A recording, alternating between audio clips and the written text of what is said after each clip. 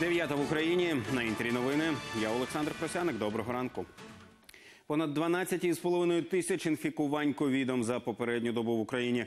Від ускладнень померли 320 людей. Ушпиталили майже 4 тисячі хворих. Столична влада вже готується до посилення карантинних обмежень. Зокрема, планують зобов'язати відвідувачів державних установ мати з собою сертифікат вакцинації або негативний ПЛР-тест. Загалом вже вісім областей відповідають показникам помаранчевої карантинної зони. Це Житомирська, Закарпатська, Запорізька, Рівненська, Сумська, Харківська, Херсонська і Чернівецька.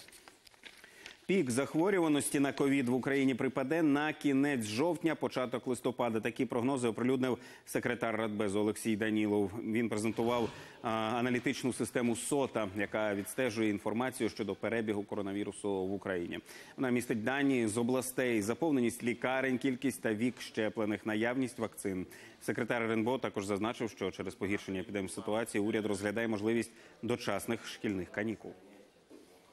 На кінець місяця у нас буде саме, скажімо так, пік. От і вважаємо, що ми його маємо пройти, скажімо так. Будуть прийняті рішення стосовно роботи, будуть прийняті рішення стосовно, скажімо так, роботи шкіл, там вищих навчальних закладів. Ми до цього будемо готові. Понад 400 тисяч нових випадків ковіду у світі за останню добу найбільше у США, Великій Британії та Туреччині. Понад 7 тисяч інфікованих померли. Іспанія схвалила бустерне щеплення для тих, кому за 70. Вакцинація розпочнеться вже наприкінці жовтня. Тим часом Австралія не прийматиме іноземних туристів до 2022 року. Через пандемію потрапити на континент зможуть лише кваліфіковані мігранти та студенти. На Донбасі за минулу добу шість ворожих атак. Внаслідок обстрілу один армієць поранений. Ворог бив у напрямку Новотошківського та Красногорівки. Накривав із протитанкових та автоматичних гранатометів, а біля Трьохізбинки і зі стрілецької зброї. Українські бійці відкривали вогонь у відповідь. Криголам Джеймс Кларк Росс прибув до одеського порту. Це дослідницьке судно, яке Україна купила у Великої Британії за 5 мільйонів доларів. І тепер воно служитиме національному антарктичному науковому центру.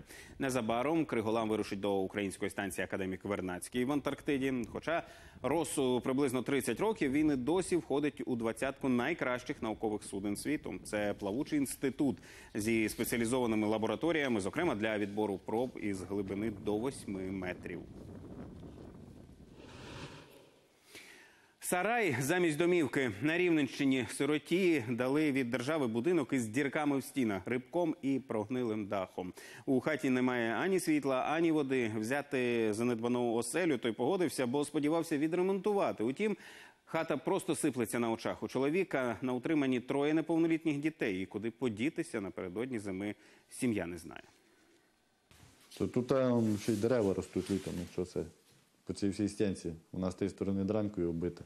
Цю частину будинку в селі Тучин Микола отримав торік від держави як круглий сирота. У черзі на житло чекав 10 років, але радості новому власнику помешкання не принесло. У стінах наскрізні діри, гнилі стеля та підлога. Його взяти такого пихнуть, щоб він упав і по-наново построїти. Буде дешевше. Узяти занедбаний дім Микола погодився, бо думав, що поступово його підлатає. Але тут, за що не візьмись, усе валиться. Зараз знімати ці доски, воно все буде в воздусі. А чи буде воно там висіти, поки достроїшся до нього? В будинку немає жодних комунікацій, як і елементарних зручностей. Воду брати, якби теж треба сусідів йти просити. Газ сказали, щоб підключатися, типу, то треба заплатити. Сусіди розповідають, цьому будинку майже сім десятиліть. Миколі виділили одну з трьох частин хати, де уже років 30 ніхто не жив. Оцю квартиру вже двом виділяли. Ну, одним виділили е, таким сиротам. Ну, вони з нею повоювали, повоювали і оставили. Потім другим виділили. Ну, от вони дають, ті сироти відмовляються, вони знову її далі дають. У Миколи троє неповнолітніх дітей. Найменшій донечці чотири місяці. Родина винаймала будинок у цьому ж селі, але власник попросив їх виселитися. За два тижні нам звідси освободити хату, бо ми не в змозі за неї виплатити. Переселятися у виділену сільрадою хатину родина відмовляється. Чоловік уже оббив пороги усіх кабінетів місцевих чиновників та допомогти йому не обіцяють. Не знаю, чим це все насправді закінчиться. Комісія обстежила і побачили дійсно нелюдські, це нелюдські умови. Далі це робота служб, які цим займаються, і робота юристів. За законом держава повинна забезпечувати сиріт житлом, і воно має відповідати всім технічним і санітарним нормам, пояснюють юристи. Кажуть, таке непридатне для життя помешкання сільрада взагалі не мала права виділяти. Дійсно скасовувати тільки даний ордер, скасовувати своє рішення про передачу житла і не позбавляючи його місця в черзі на соціальне житло, залишити його на тому місці і або дати йому грошову компенсацію у вигляді субвенцій, або за можливості надати житло. Якщо селищна рада добровільно не погодиться скасувати свого рішення, юристи радять Миколі йти до суду. Артем Антоненко, Сніжана Сидорук, Микола Василюк. Новини телеканал Інтер. Рівненська область. 42 мільйони гривень за злочин правоохоронців. Стільки отримає від держави жителька Дніпропетровщини. П'ять років тому жінка заявила у поліції, що її пограбував власний чоловік. Привласнив майже півтора мільйона доларів, 150 тисяч євро, а ще на 200 тисяч доларів коштовностей. Правоохоронці його знайшли, але замість затримати забрали собі награбоване. А чоловікові лишили частку замовчання. Зрештою, чотирьох поліціянтів викрили, засудили. Щоправда, двох із них заочно, бо ті встигли втекти на окуповану частину Донбасу. А оскільки вкраденого так і не знайшли, суд постановив, що збиток постраждалій компенсує держказначейство. Право на гідну медичну допомогу вимагали у Харкові пацієнти онкологічного центру. Цю можливість вони бояться втратити, бо депутати облради не продовжили контракту із директором закладу. Він очолював його 5 років. За цей час смертність від раку на Харківщині зменшилася в п'ятеро. Це офіційна статистика. Із пацієнтами та лікарями поспілкувалася Світлана Шекера. Харків сколихнув справжній медичний скандал. Депутати облради вирішили не продовжити контракту директорові місцевого онкоцентру. Це неабияк обурило і медиків, і пацієнтів з родинами, і місцевих активістів. Я підтримую Дениса Скорого. Сотні людей зібралися під стіни обласної ради, влаштували інсталяцію, як було до приходу очільника лікарні, панцирне ліжко і як стало нове зручне крісло, на якому зараз проходять хіміотерапію. Я через рак прошла дважды. Я живой пример тех изменений, которые благодаря новым врачам, новым подходам, правилам, э, тем э, про соблюдение протоколов реализованы. Я певна, що в адміністрації працюють не злі люди. Це просто люди, які бачать е, цифри на папері.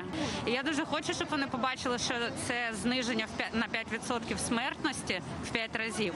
А ці кадри в харківському онкоцентрі ми знімали п'ять років тому. Дах протікав у палатах пліснява, операційні, непристосовані із застарілим обладнанням. Тепер тут і новітні устаткування, і сучасні операційні, а ще команда хірургів з усієї країни і забезпеченість ліками. Один курс лечения а, химиопрепаратами и этим таргетным препаратом а, стоит порядка 100 тысяч гривен. И это все абсолютно а, перекрывается с помощью наличия препаратов по а, бюджетным поставкам.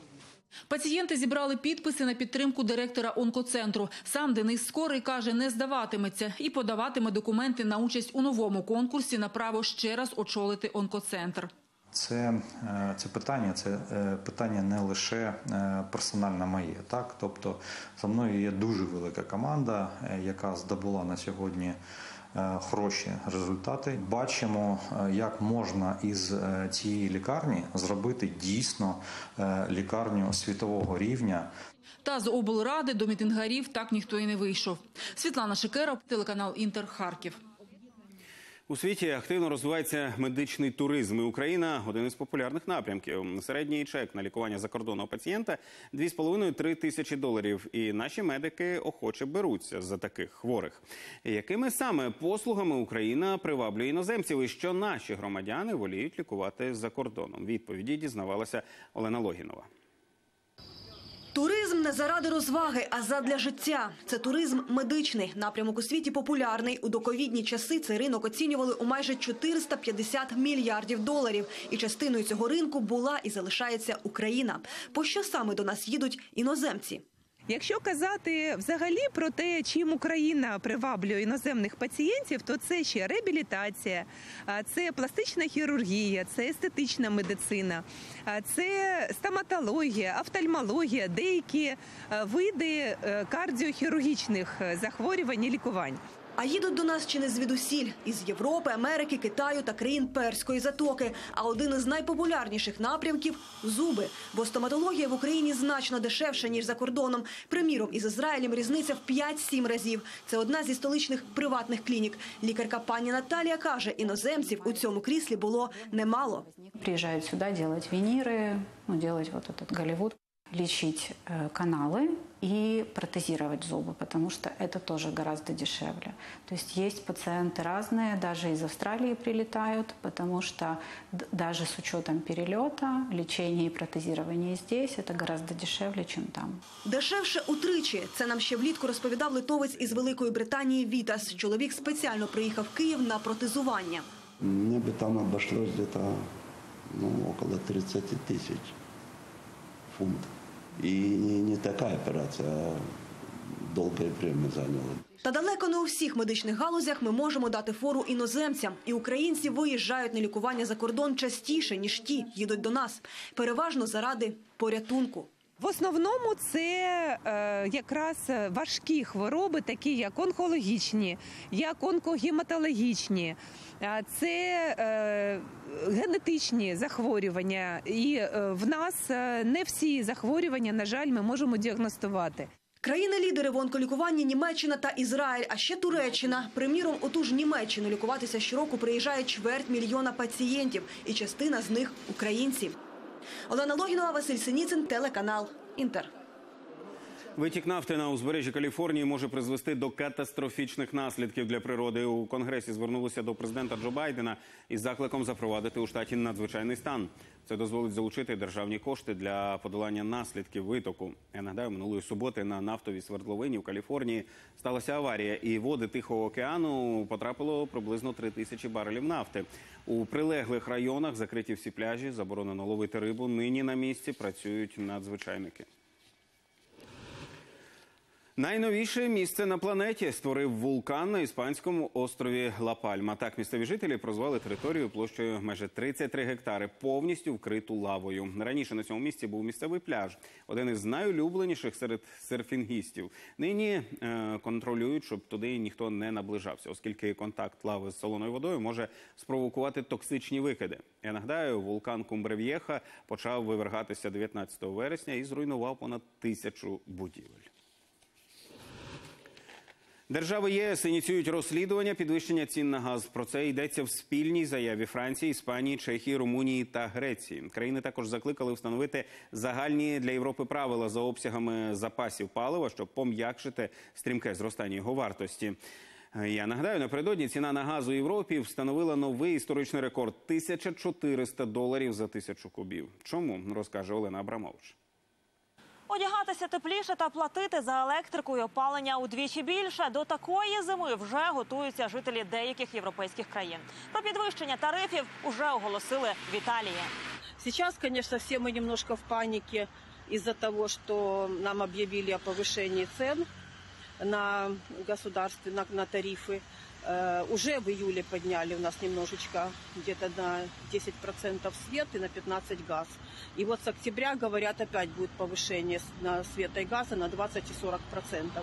Італійський уряд пообіцяв субсидії малозабезпеченим. Решта має бути готова сплачувати більше, бо економити тепло там і так уже вміють. Правило, що більше споживаєш, то вищий тариф діє давно.